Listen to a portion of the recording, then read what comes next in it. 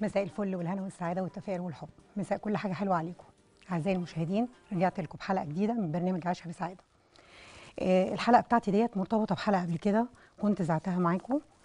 آه، الحلقة كانت مع المستشار كمال يونس. كنا بنتكلم فيها عن حقوق المرأة أو الخلع. النهارده رجعت لكم في حلقة دينية آه، هنتكلم فيها عن حقوق المرأة.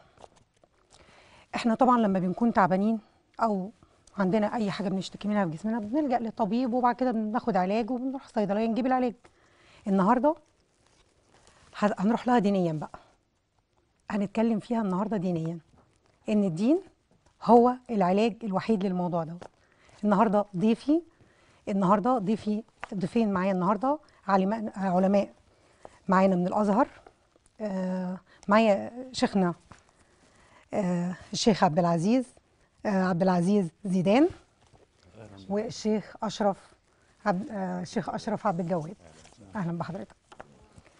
حضرتك إحنا قبل كده طلعنا بحلقة من حلقاتنا مع المستشار كمال يونس بنتكلم عن الخلع نعم. وعدم حقوق الزوجة اللي ما بتاخدهاش ما بتستفادش حاجة لما بتخلع زوجها. نعم. طبعا الدين عايزين نشوف رأي الدين بالنسبة لكده. نعم. آه، حضرتك هتكلمنا عن رأي الدين بالنسبة للخلع. نعم. الأول أول حاجة عرفنا بحضرتك. نعم.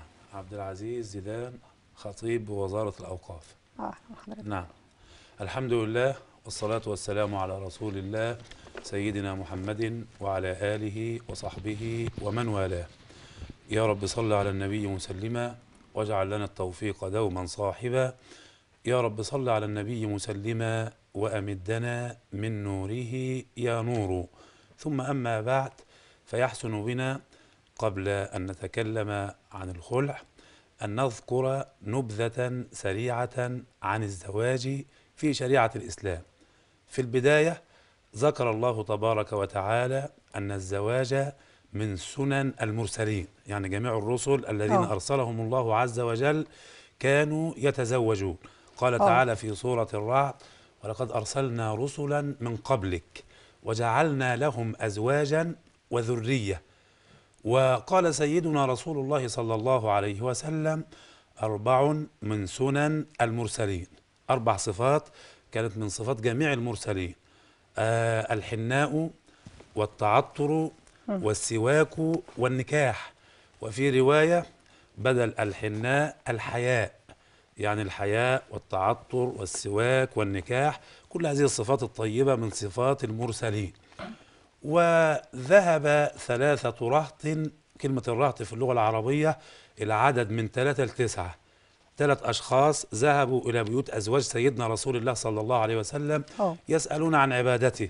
عايزين يعرفوا سيدنا محمد بيعبد ربنا إزاي عشان يجتهدوا من العبادة. آه ويكثروا. فلما أخبروا لما سألوا أزواج النبي وعرفوا كأنهم تقالوها يعني لقوا نفسهم عبادتهم جنب عبادة سيدنا رسول الله ضعيفة جدا. فقال أحدهم أما أنا فإني أصلي الليل أبدا. واحد قال هفضل أصلي على طول. وقال الآخر وأما أنا فإني أصوم الظهر أبدا. أفضل صيام مدى حياتي. وقال الثالث وأما أنا فأعتزل النساء ولا أتزوج. فلما جاء سيدنا رسول الله صلى الله عليه وسلم وقال أنتم الذين قلتم كذا وكذا أما والله شوف بقى سيدنا رسول الله بيقسم وسيدنا محمد لا يقسم إلا على شيء إيه عظيم. أما والله إني لأخشاكم لله وأتقاكم له. أنا أتقى واحد وده بنص القرآن الكريم إن أكرمكم عند الله, الله أتقاكم أتقاكم. اللي هو سيدنا رسول الله صلى الله عليه وسلم. أما والله إني لأخشاكم لله وأتقاكم له ولكني شوف بقى سيدنا رسول الله أصوم وأفطر وأصلي وأرقد وأتزوج النساء. فمن رغب عن سنتي فليس مني. يبقى الرهبانية لا توجد رهبانية في الإسلام اللي هو ترك التلذذ بالطعام والشراب والزواج الذي أحله الله عز وجل. ولذلك ورد أن سيدنا عمر بن الخطاب قال لأبي الزوائد لا يمنعك من الزواج إلا عجز أو فجور. يعني اللي يمنع الإنسان أنه يتزوج حاجة من اتنين. إما أنه عنده عجز عن الزواج سواء كان عجز مادي أو جنسي أو إلى آخر آه أو فجور. يعني إنسان عفوا عايش حياته بالطول وبالعرض. صح كده. وسيدنا عبد الله بن مسعود قال لو أعلم أنه لم يبقى لي من عمري إلا عشرة أيام لتزوجت. مخافة الفتنة. فهذه نبذة سريعة عن الزواج في شريعة الإسلام. ثم نعود إلى سؤال حضرتك. لا وهرجع برضو لحضرتك في حاجة. ما برضو في رجال نعم. بيرجعوا للإسلام. بيقولوا إن الإسلام حل الأربعة. نعم. ماشي بس حل الأربعة لأسباب. نعم. مش بدون أسباب. نعم. يعني لو زوج الزوج تزوج على زوجته آه، لازم يوجد أسباب للز- للزواج ده والله هو المشكلة في موضوع تعدد الزوجات ال- ال- العدل بينهم يعني شوف أشرف الخلق سيدنا رسول الله صلى الله عليه وسلم آه، كان يعدل بين نسائه في جميع الأمور بس الرسول عليه الصلاة والسلام نعم. تعدد الز- الزوجات لأسباب نعم لأنه نعم. كان بيدخل عليهم كتير آه. فكان عايز يبقى حلال دخوله المنزل نعم شرعي وكل واحدة كان بيبقى لها حكمة معينة دي تحتاج خاصة إن بالظبط شاء كده، الله آه. ولكن مش هننكر نص القرآن الكريم فانكحوا ما طاب لكم من النساء بس برضو ما أنا هكمل لحضرتك يا آه. أستاذ شيرين إن شاء الله فانكحوا ما طاب لكم من النساء مثنى ثلاث وثلاثة ورباع. أيوة. ولكن عايزين نحط شرط العدالة ده آه. أهم حاجة وعشان كده قلنا النبي صلى الله عليه وسلم كان بيعدل بين أزواجه في جميع الأمور وكان يجي عند الميل القلبي بقى ويقول إيه آه. اللهم هذا قسمي فيما أملك فلا تلمني فلا تلمني فيما تملك ولا أملك اللي هو الميل القلبي آه. اللي هي الآية اللي الكل بيقراها ولن تستطيعوا أن تعدلوا بين النساء آه. لن تستطيعوا أن تعدلوا بين النساء هنا في فواحد. الميل القلبي آه. يعني اللي بيتزوج أكتر من واحدة استحالة في الميل القلبي يبقوا الاثنين في إيه في منزلة واحدة لازم هيفضل واحدة عن التانية في الحب آه أما في ال- العدل في الأمور الأخرى فسهل إن الإنسان يعدل. أيوة. العقبة والصعوبة كلها في الإيه؟ في الميل القلب. حتى سيدنا رسول الله أشرف الخلق كان يقول إيه؟ لا تلمني فيما تملك ولا أملك. آه بالنسبة لموضوع ال- ال- الخلع الذي يدفع ال- الزوجات إلى هذا الأمر بكثرة في هذه الأيام لو دققنا ال- النظر يعني هو بعد الناس عن منهج الله عز وجل وعن بعد سيدنا رسول الله صلى الله عليه وسلم فلو إن الزوج عرف إن له حقوق الزوجة عرفت إن لها حقوق على زوجها والزوج له حقوق على زوجته والطرفين طبقوا هذه الحقوق ال- الاسر هتسعد لكن هو المشكلة إن الأسر أو يعني كثير من الناس ما بينعممش في بعد عن منهج الله عز وجل. فالناس لو طبقوا الكتاب والسنة يسعدوا في الدنيا وفي الآخرة. تركت فيكم ما إن تمسكتم به. بس ما فيش حد بيطبق. لا يعني مش ما إحنا مش عايزين نعمم لأن برضه في الخير موجود الحمد لله في الأمة الحمد يوم لله القيامة. الحمد لله. ولكن هو برضه يا أستاذة شيرين القرآن أخبرنا إن القلة على مدار الزمان ملتزمة والكثرة مش ملتزمة. ده على آه. مدار الزمان مش النهارده بس ولا في الأيام اللي إحنا فيها. آه. يعني لما نقرأ في القرآن في مسألة اسمها القلة والكثرة نلاقي القرآن يقول إيه؟ ولكن أكثر الناس لا يؤمنون. آه. ولكن أكثر الناس لا يعلمون. ولكن أكثر الناس لا يشكرون.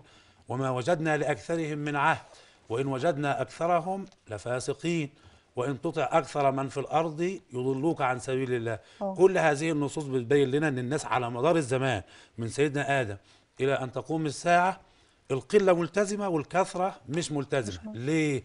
عشان الإنسان الملتزم ما يجولوش إحباط ويقول ده المجتمع كله مش ملتزم وأنا كمان مش ملتزم. آه هذا لن ينفع الإنسان يوم القيامة ومش هيشفع له عند الله عز وجل.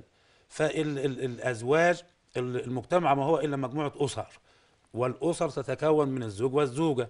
فلو أن ال- ال- الأزواج تمسكوا بكتاب الله وعادوا إلى هدي القرآن والسنة لساعدوا في الدنيا وفي الآخرة وهتقل نسبة الطلاق وهتقل نسبة الخلع إلى آخر الله. هذه الأمور. شكرا سيدنا الشيخ. عفوا يا فندم. عفوا. هنرجع لفضيلة الشيخ أشرف عبد العزيز عبد الجواد. آه النهارده هنتكلم مع حضرتك في تكريم الإسلام للمرأة. حضرتك عايزين تكلمنا عن؟ أعوذ بالله من الشيطان الرجيم. بسم الله الرحمن الرحيم. الحمد لله رب العالمين والصلاة والسلام على أشرف المرسلين سيدنا محمد صلى الله عليه وعلى آله وصحبه أجمعين وبعد.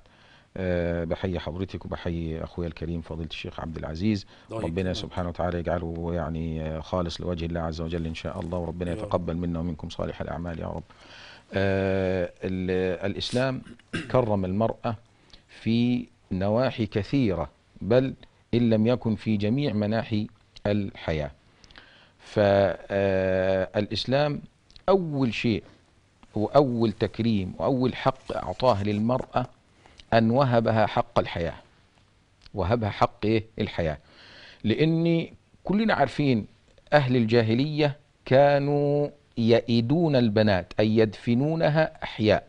عشان كده ربنا سبحانه وتعالى لما وصف حال المشركين في هذا الأمر وإذا بشر أحدهم بالأنثى ظل وجهه مسودا وهو كظيم.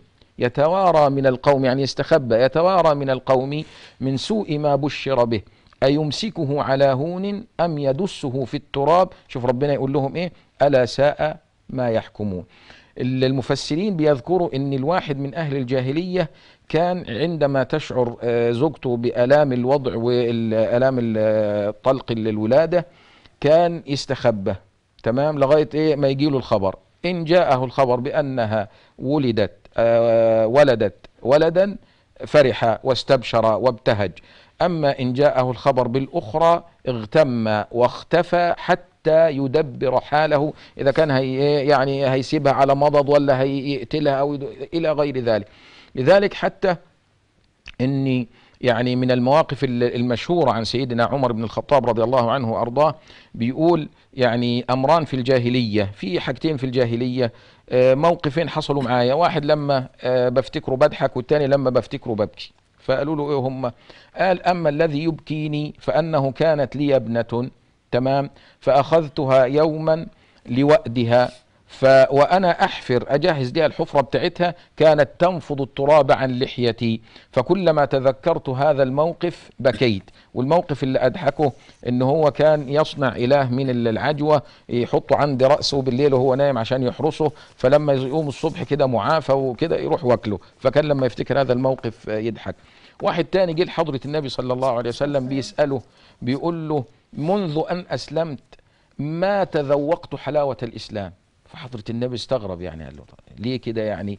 قال له والله كان لي ابنة في الجاهلية فدخلت على امرأتي فقلت لها زينيها وكذا ثم أخذتها إلى واد بعيد قعره فألقيتها فيه فنظرت إلي وقالت يا أبتي قتلتني فيقول فكلما تذكرت هذا الموقف لم أنتفع بأي شيء. فحضرة النبي صلى الله عليه وسلم أراد أن يهون عليه فقال له أما علمت أن الإسلام يهدم ما كان في الجاهلية؟ شوف كمان البشارة الحلوة اللي جاية ديت وأن الاستغفار يهدم ما كان في الإسلام. يعني الإسلام يجب ما كان قبله والاستغفار وما كان الله ليعذبهم وأنت فيهم وما كان الله معذبهم وهم يستغفرون. ف وأد البنات كان من عادات الجاهلية التي جاء الإسلام ليستأصلها وليئدها وليجتثها من جذورها. فوصل الحد بتكريم الإسلام للمرأة أنه أعطاها حق الحياة. تخيلي حضرتك مش في ده حتى في الإسلام حتى في الإسلام في الحروب حضرة النبي صلى الله عليه وسلم كان ينهى عن قتل المرأة حتى في الحروب. إحنا معانا تليفون أم مصطفى؟ طيب. ألو؟ السلام عليكم. عليكم السلام. بسلم عليك يا أستاذة شيرين وعلى سيدي الشيخ أشرف وسيدي الشيخ عبد العزيز. أهلا وسهلا بيك يا فندم منورة معانا. كنت ربنا يبارك فيك ربنا يخليك. كنت ربنا يخليك كنت في بداية حديث سيادتك كنت بتتكلمي موضوع الحلقة النهارده عن موضوع الخلق. أيوه. فأنا كنت عايزة أسأل فضيلة عم الشيخ سيدي أشرف أو سيدي عبد العزيز ايوما ربنا يبارك فيهم. مفهوم الخلع من من الإسلام مش من المن مش من القانون بقى. وما يعني ورأي رسول الله صلى الله عليه وسلم ردي علي حديقته. ما المفهوم المطلق بمعنى ردي علي حديقته؟ هل هي كل ما يخص المرأة من مؤخر صداق من قائمة من من من؟ أوه. ولا ولا مفهوم المطلق المفهوم المطلق للخلع؟ لأن بيختلط على ناس كتير قوي قوي قوي آه وإحنا مش عارفين. فإحنا أنا عايزة أفهم وأنا برضو أكيد وبعض الناس المشاهدين الطيبين وكده عايزين يفهموا منظور منظور الخلع من الإسلام. أنا ماليش دعوة بالقانون والحاجات دي. أنا ليا دعوة بالمنظور الإسلامي للخلع. آه هو إحنا قبل كده يا أم مصطفى أنا نزلت بيه قانونا أيوة. وحبيت أشوف رأي الدين والسنة في موضوع الخلع أو علينا يا فندم. أيوه. هو في حاجات هتكلم فيها كتير لسه. هو مش الخلع بس برضه رد عليا حديقته رد عليا حديقته دي. المفهوم من رد عليا حديقته حضرتك هو إيه؟ ما ما يخص المرأة من مؤخر ومن قايمة ومن ومن ومن ومن ولا لها نقطة معينة من نظر الإسلام. أنا عايزة أفهم المنظور الإسلامي اللي رد عليا حديقته. حاضر. شكرا لك حاضر. شكرا. في عندك أسئلة ثانية أم مصطفى؟ شكرا. هي بتسأل آه عن رد علي حديقة نعم هو موضوع الخلع إن المرأة بتتنازل عن جميع حقوقها الشرعية التي أباحها الله عز وجل مقابل إنها تنهي الحياة الزوجية مع الزوج نعم هو فعلا هو أنا قريت يعني إن هو الخلع موجود من أيام الإسلام نعم. بس بطريقة مختلفة شوية عن القانون نعم ما إحنا بنتكلم من ناحية الشرع وليس آه. من ناحية القانون عشان أنا مش بالظبط رجل كده. قانون نعم آه. نعم إن المرأة بتتنازل عن جميع ما تملك مقابل إنها بتنهي الحياة الزوجية حتى يعني لا تعيش مع زوجها في يعني- هم وغم. يعني دينيا برضو نعم. بتتنازل. نعم. آه تفتدي نفسها من آه، من ب- ب- ب- على المال أو أي جميع ما تملك. نعم. ماشي. طب لو هي كانت من جواها مش مسامحاه هل كده على على إيه؟ مش إن مسامحة هي على إن إيه هي بتتنازل بس مضطرة إن هي تتنازل؟ لا ما هو ده شرع مش مش هوى آه ده شرع ربنا سبحانه وتعالى وليس هوى نفس. يعني هي كده ما خلاص ما عن هو حضرتك كل واحد راح لناحية خلاص بقى كل واحد بيبتدي صفحة جديدة هو بيروح لمكان وهي بتروح لمكان. آه آه. آه، الشيخ. حضرتك نعم. الله يكرمك. هو بالنسبة لحضرتك قضية الخلع تمام؟ ال- الحديث جاء ذكره بالنص كده. نعم. آه، ذهبت امرأة ثابت بن قيس إلى رسول الله صلى الله عليه وسلم. فقالت إيه؟ يا رسول الله إني لا أعيب أو لا أعتب عليه في خلق ولا دين. هو من ناحية الخلق عشر على عشر. من ناحية الدين صوام قوام. غير أني أكره الكفر في الإسلام عشان بس نبقى فاهمين مضمون الحديث. هو وده على فكرة من الحقوق اللي إحنا كنا هنتكلم فيها. بس هي آه، أم مصطفى ولا استعجلت لنا شوية؟ آه. تمام استعجلت لنا. كنا ده من ضمن الحقوق ال- ال- التي أعطاها الإسلام للمرأة إني أعطاها حق ال- الطلاق وحق الخلع. لأن في الجاهلية المرأة كانت لا تطلق. ربما كان يعني يحلف عليها 100 يمين طلاق. وربما كان يعني كان لها عدة ولا لها طلاق ولا والعدة بتاعتها سنة كاملة. واخده بال حضرتك وتلبس يعني أقذر ثيابها وتكون في أقذر هيئة لها حتى يمر عليها عام كامل. لكن شوف الإسلام حضرتك النهارده المتوفى عنها زوجها ثلاث ثلاث ثلاث شهور المطلقة ثلاث شهور أنا آسف والمتوفى عنها زوجها أربعة أشهر وعشرة أيام واخده بال حضرتك. فلكن الجاهلية سنة كاملة تمام؟ وكان ما فيش حاجة اسمها برضو الخلع وكذا وكذا تمام؟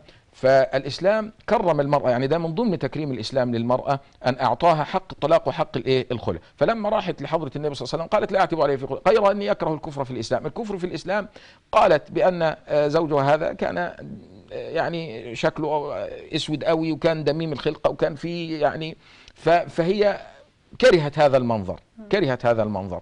فحضرة النبي صلى الله عليه وسلم زي ما تفضل أخونا الشيخ الفل الكريم أن آه، هي التي كرهت العشرة.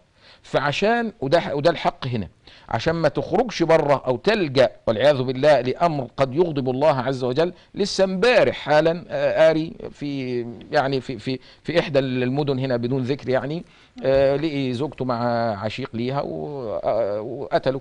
ربنا يعافينا يعني. آه آه الهرم لا مش في الهرم. لا, لا، ده موضوع الهرم ده ده- ده قتل لا الزوجة، آه. ده قتل الزوجه آه. تمام؟ وده قتلها موضوع الهرم ده قتلها عشان عشان الشقة. قتلها عشان خاطر إنها طلبت منه الطلاق.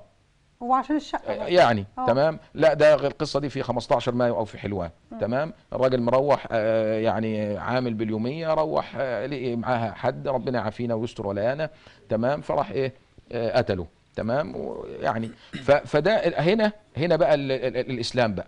هي خلاص كرهت ال- العيشة معاه. خدت بال حضرتك؟ فحضرة النبي قال لها أتردين عليه حديقته؟ قالت أفعل يا رسول الله. فحضرة النبي صلى الله عليه وسلم نده له قال له خد الحديقة وطلقها إيه؟ تطليقة، تطليقة نعم. خدت بال حضرتك.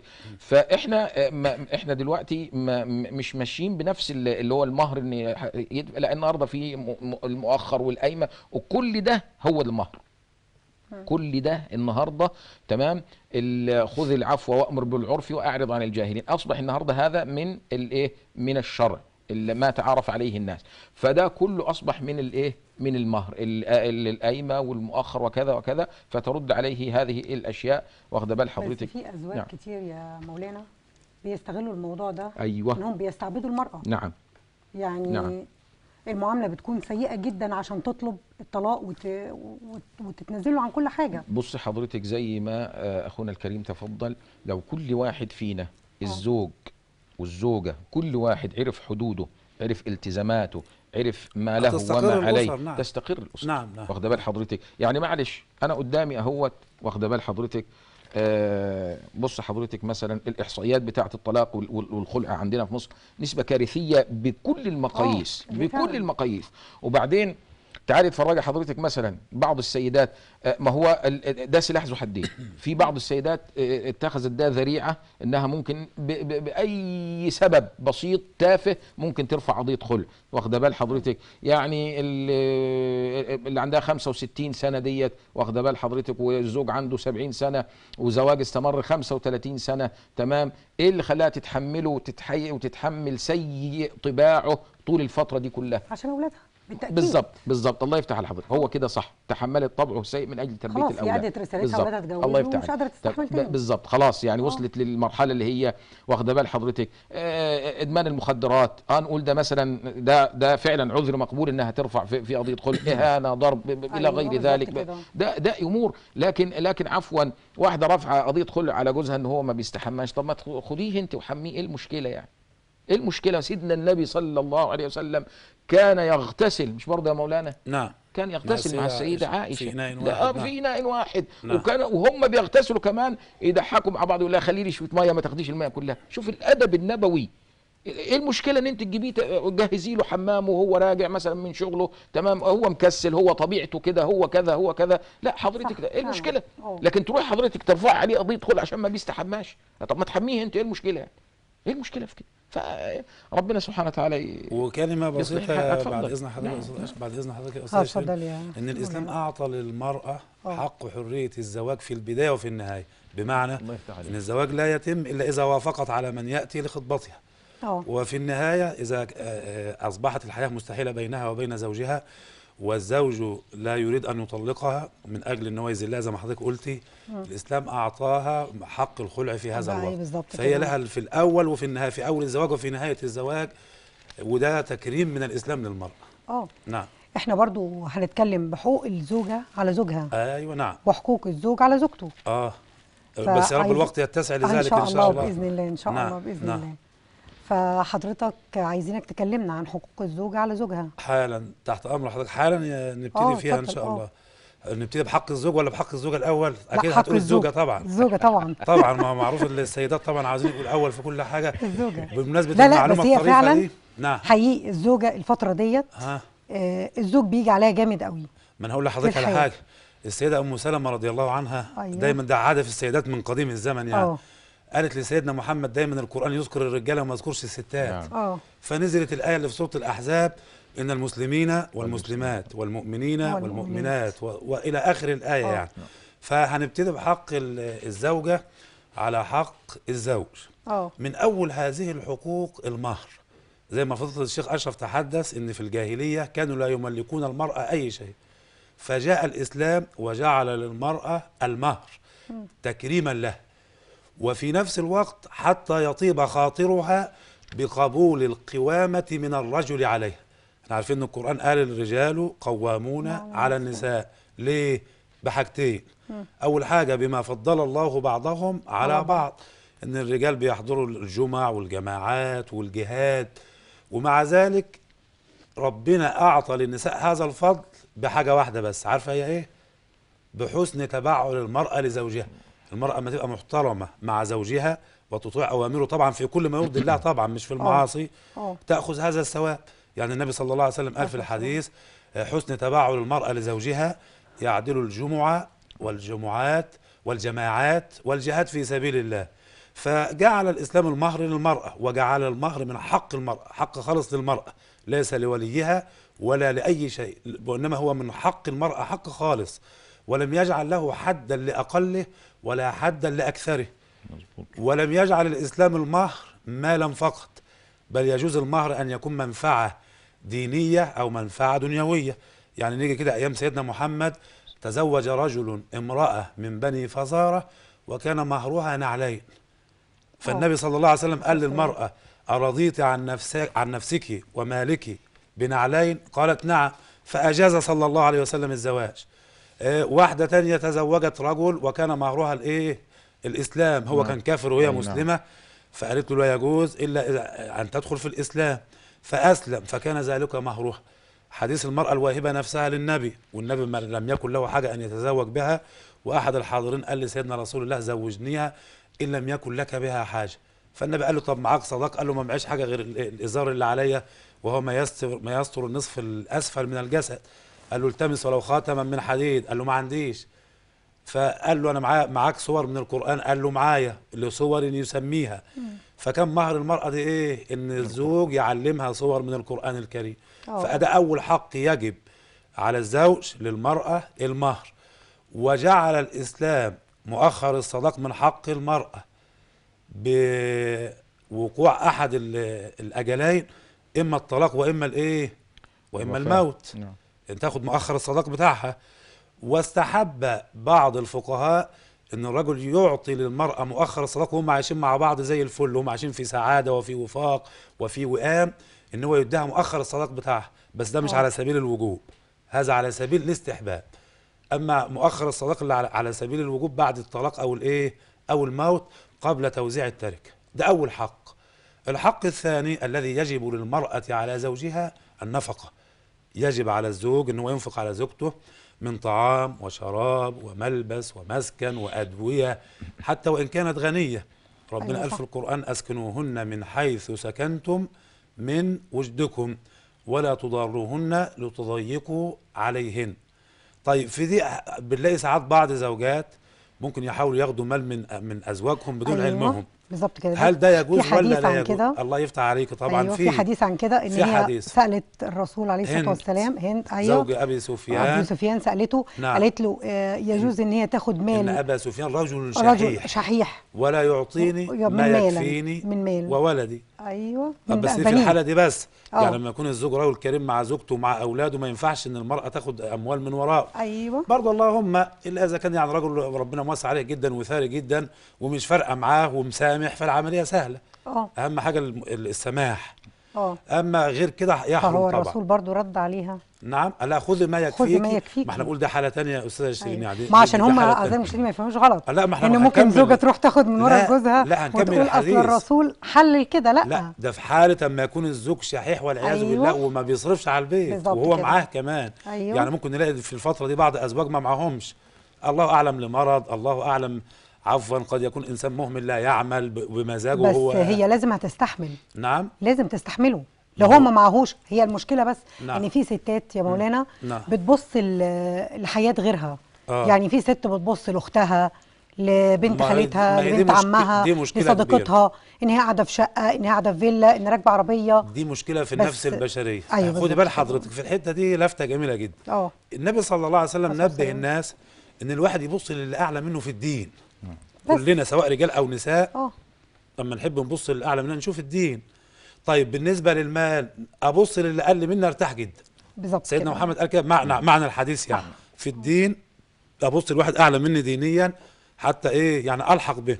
أيوه. وأتنافس وفي ذلك فليتنافس ولو بصيت. ماديا يبقى لازم هجتهد عشان أوصل. هو الطموح والأمل حاجة جميلة بالظبط. جدا. بس بالطريقة اللي ربنا شرعها وفي نفس الوقت بقى ما غيرش من جاري ما غيرش من جارتي أيوه. وأقلب ما بيتي نكد ستات بتعمل كده. ما أيوه تنكد على. جوزها. لا ما لا أنا. عايزة زي جارتي ديت أنا زوجها عايزة ما زي. صديقتي ديت. أيوه هل الدين.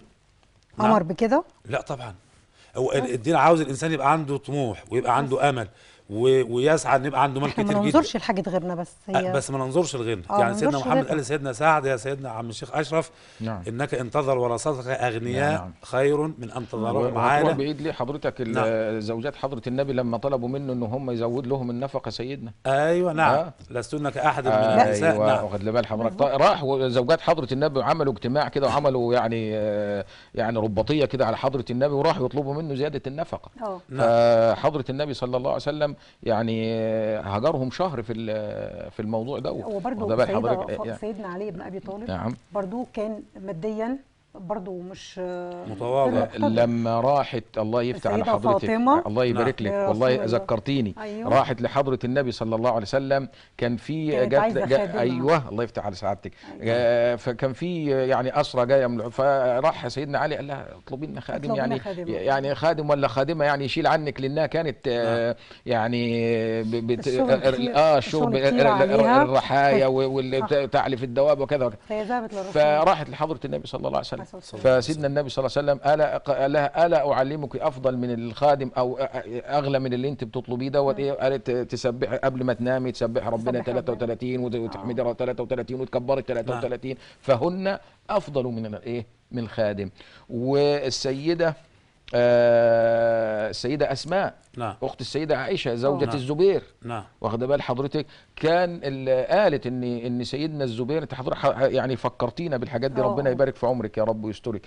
فكانت بت بت بت كان سيدنا النبي صلى الله عليه وسلم أعطى سيدنا الزبير نخل تمام؟ فهي اللي كانت يعني كانت تسقيهم تشيل القربة وتروح تسقي النخل وبتاع. ففي مرة حضرة النبي صلى الله عليه وسلم كان راجع فشافها شايلة فأناخ لها البعير عشان تركب ورا حضرة النبي.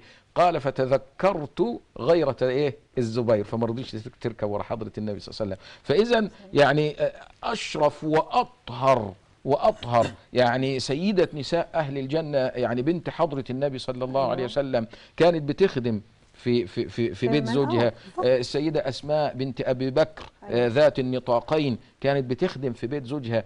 فزي ما سيدنا الشيخ قال حسن تبعل المرأة لزوجها. إذا آه، صامت المرأة شهرها وصلت خمسها وأطاعت زوجها دخلت من أي أبواب الجنة شاءت.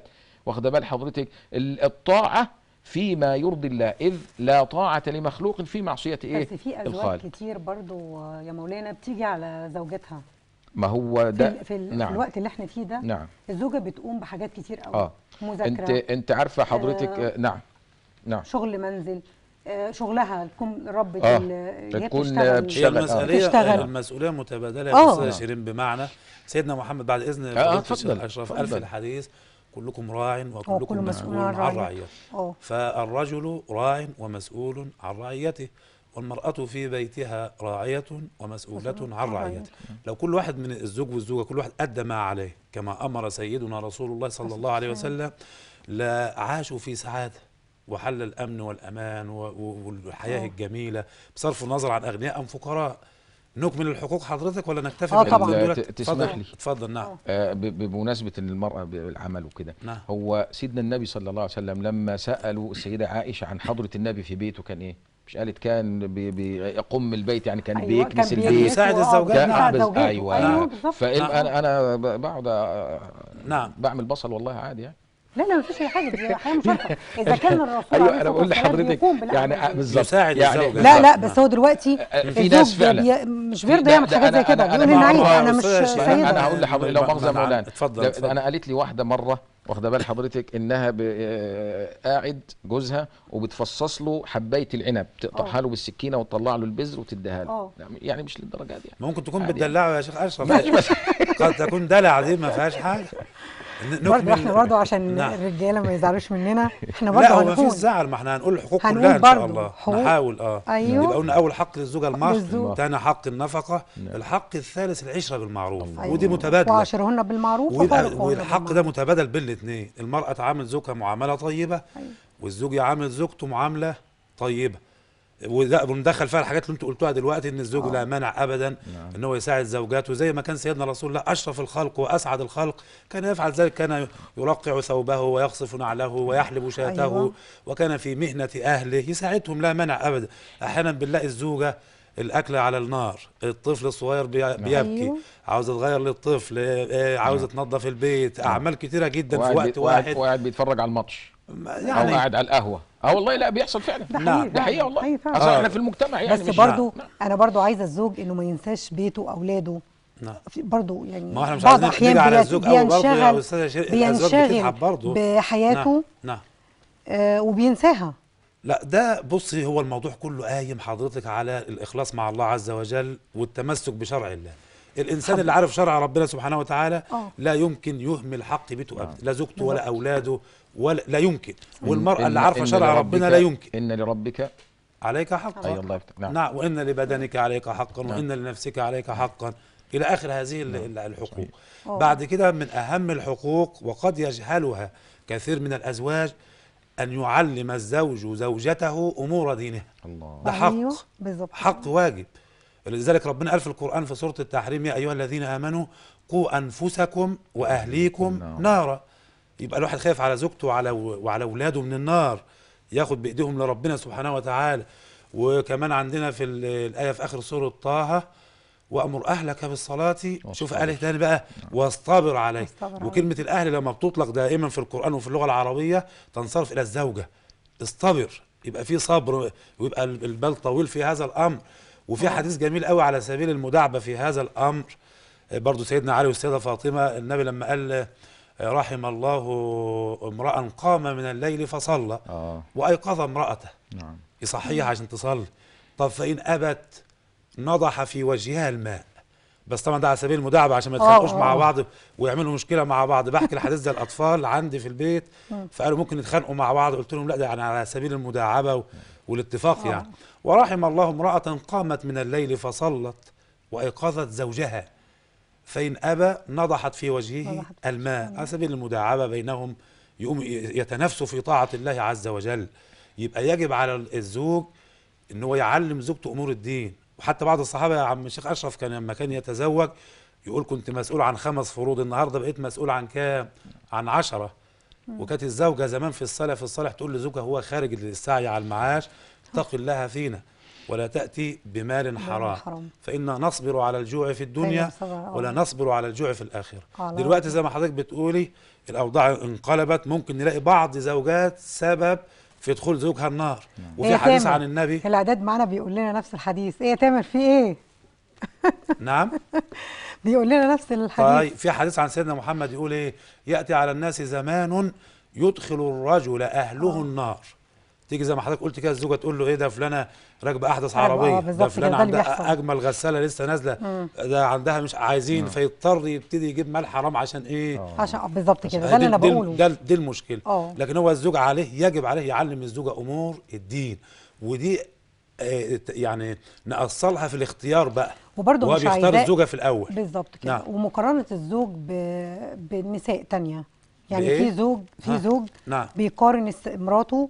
بين يعني بتاعت النت بقى والحاجات ال- السوشيال والكلام ده اللي بيدخل عليها آه بيقعد يقارن زوجته لا ده حرام طبعا آه لا حرام فهو جداً. طبعا غير لو هو غير موفر لها أصل موضوع جمال النساء أيوة. عفوا م- م- غير متناهي بالظبط يعني لو كل ما هيشوف واحدة جميلة بكرة يشوف واحدة أجمل منها لا لا بكرة وعفوا واحدة أجمل لا، لا، منها الموضوع برضو نسبي يعني. لا لا وموضوع نعم. والجمال موضوع. نعم. ونسبي نعم. الجمال نسبي نعم. واخد لي بال حضرتك ولولا اختلاف الأذواق لبارت السلع. نعم. في معلش أنا آسف يعني في. في واحدة تبقى كذا بس بالنسبة لزوجها جميلة الجميلات نعم. وممكن حضرتك تبقى شايفها بالنسبة لك إنسانة عادية جدا. واخد بالك فمسألة ال- ال- الشرع آه، ضبط هذه الأمور واخد بال حضرتك يعني آه، ضبط الإسلام آه، مشية المرأة ضبط الإسلام كلام المرأة واخد فلا تخضعن بالقول فيطمع الذي ولا يضربن بأرجلهن لي- فالإسلام ضبط كل هذه ال- ال- الأمور.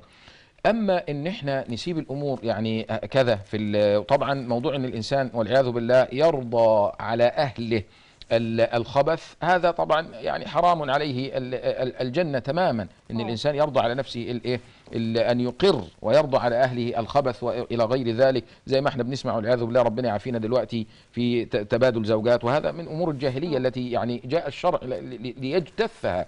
واخد بال وبرضه في بعض احيان المادة برضه يا مولانا ما هو- المادة مش متوفرة عنده فمش هيقدر يوفر لها الحياة اللي هو بيقارنها بيها. ما هو بص حضرتك زي ما فضيلة الشيخ تفضل سيدنا النبي صلى الله عليه وسلم قال. انظروا إلى من هو آه، دونكم يعني أقل منكم في أمور الدنيا أما في أمور العبادة أبص للإنسان ده بيقيم الليل بيقيم الليل الإنسان ده بيصلي الفروض في جماعة الإنسان ده بيزكي الإنسان كذا كذا كذا. واخد بال حضرتك أنظروا إلى من هو أعلى منكم في أمور الدين فإن ذلك أجدر ألا تزدروا نعمة الله. وربنا قال لنا لا تمدن وقال لحضرة النبي كده لا تمدن عينيك إلى ما متعنا به أزواجا منهم زهرة الحياة الدنيا لنفتنهم فيه. المال والبنون زينة الحياة الدنيا. لكن ها والباقيات الصالحات خير عند ربك ثوابا وخير إيه؟ أملا. فالإنسان يقنع بما أعطاه الله عز وجل. لأن هو رزقه. ربنا الرضا يعني سبحانه مولانا. الرضا. الرضا. واخد بال حضرتك؟ آه. الرضا. مهم جدا مسألة الإيه؟ الرضا. الرضا. إن الإنسان يرضى بما قسم الله له.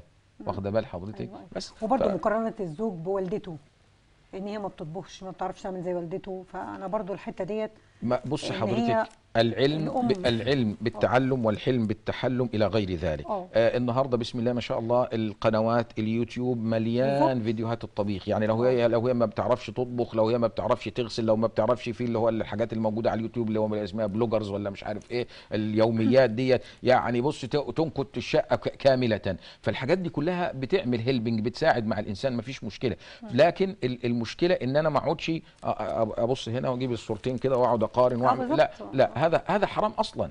يعني هذا حرام. قل للمؤمنين يغضوا من وقل للمؤمنات يغضضن من أبصارهن. ليه؟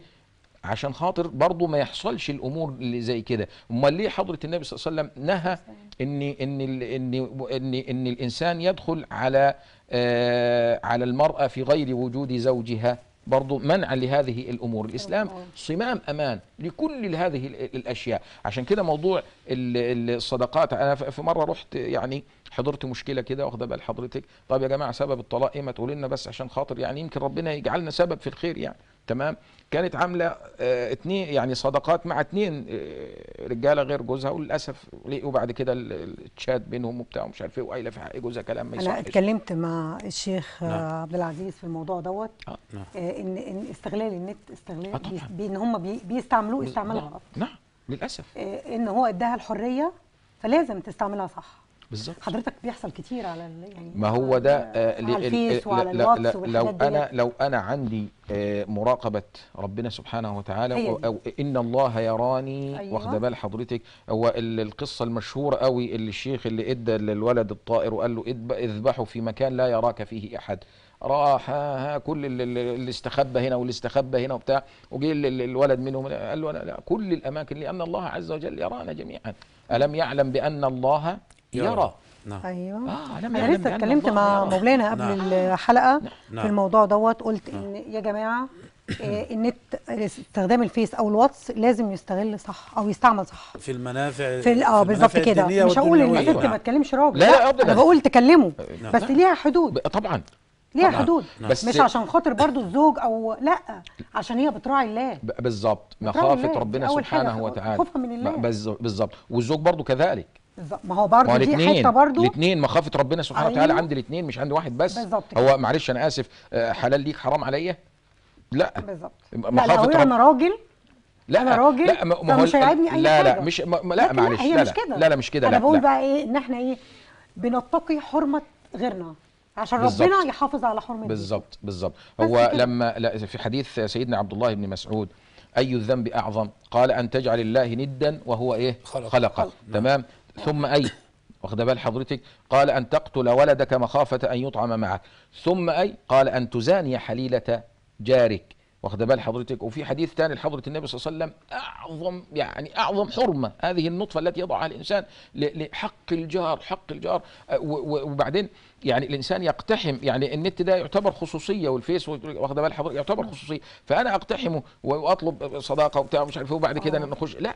وبعدين معلش أنا آسف أنا النقطة دي يمكن غالبا أنا بحمل المرأة المسؤولية في هذا الأمر لأني يعني إحنا في مجالات عمل وبنتعامل وكذا وكذا المرأة هي التي تجع ت- ت- بالظبط، تحط ال- تحط ال red. line أو بتحط الحدود واخدة بال حضرتك معلش إحنا شفنا في أماكن عمل أيوه ما دي دي مشكلة صح ولا. لا آه وفي اللي دي مشكلة كبيرة بيحصل وشفناه قدام عيننا.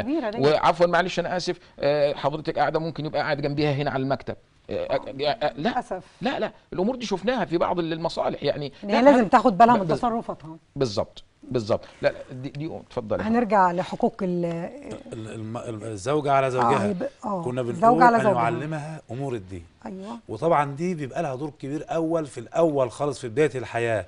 حتى يتقال لك كده لو ربنا كتب لنا عمر نعمل حلقة جميلة عن حقوق الأبناء. حقوق الأبناء.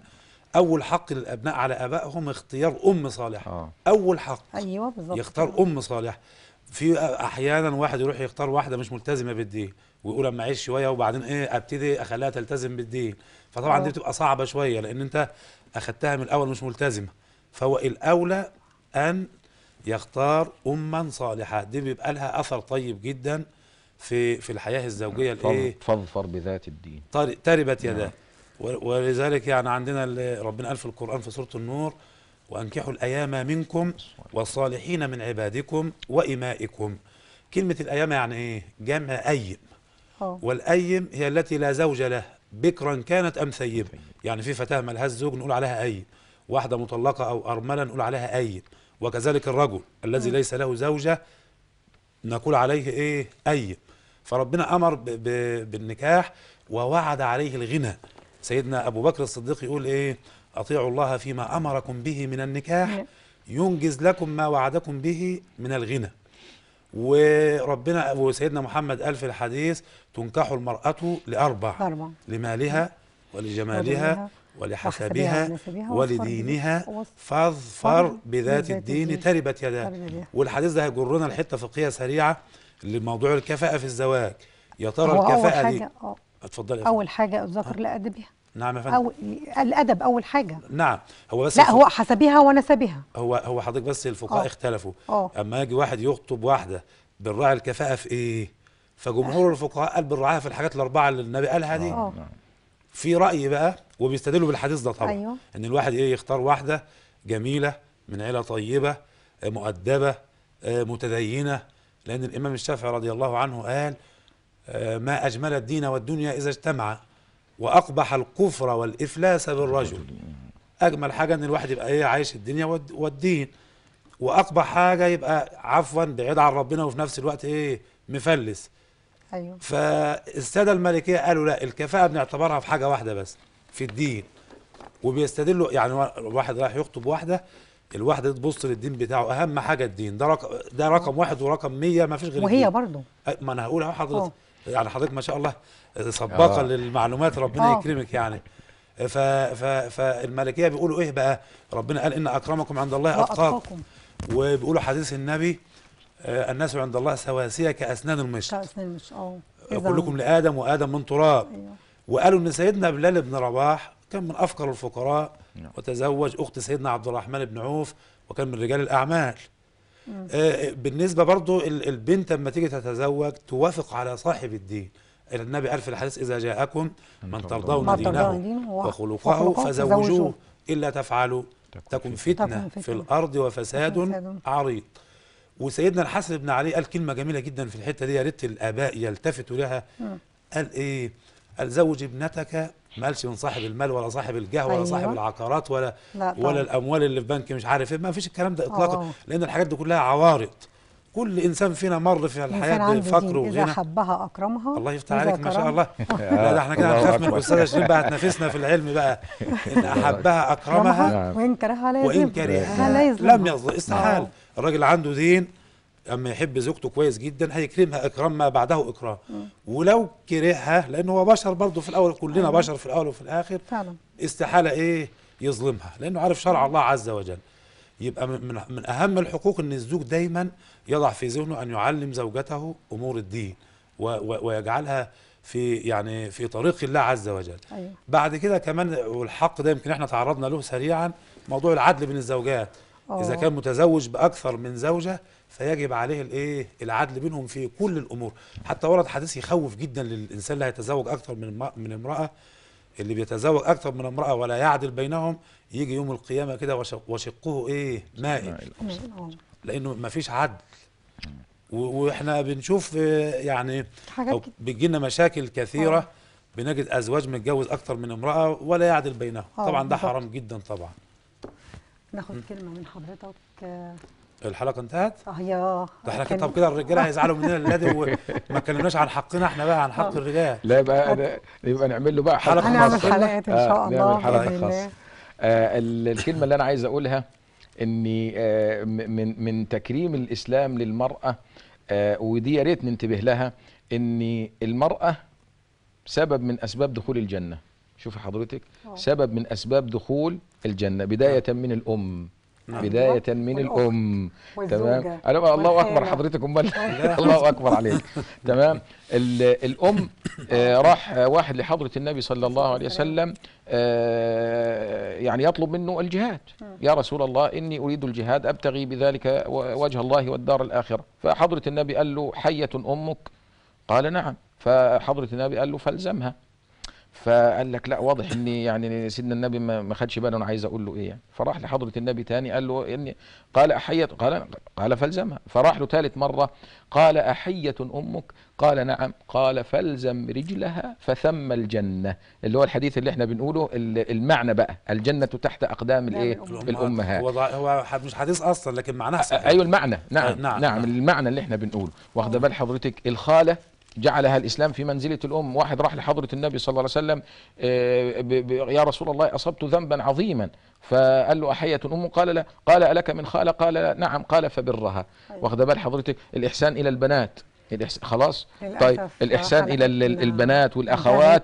وطبعا أكيد الزوجات كل ده بيبقى سبب من أسباب دخول حديث فربنا يرزقنا إن في شاء الله؟ حلقتنا انتهت وإن طيب. شاء الله هيكون لنا لقاء إن شاء الله. نسعد بحضرتك. معاكم بإذن الله. حلقات جاية إن شاء الله. نعم. آه، قبل ما أختم البرنامج بشكر مصممة الأزياء مروة عبد السميع. آه، هي النهارده ال- مصممه الأزياء بتاعه البرنامج. بشكرها كتير جدا وميرسي خالص يا ميرو على ذوقك الجميل. ربنا يوفقك يا حبيبتي. أعزائي المشاهدين آه، يا رب أكون أسعدتكم. آه، وإن شاء الله انتظروني في حلقة جديدة الأسبوع القادم من برنامج عيشها بسعادة. والسلام عليكم ورحمة الله وبركاته.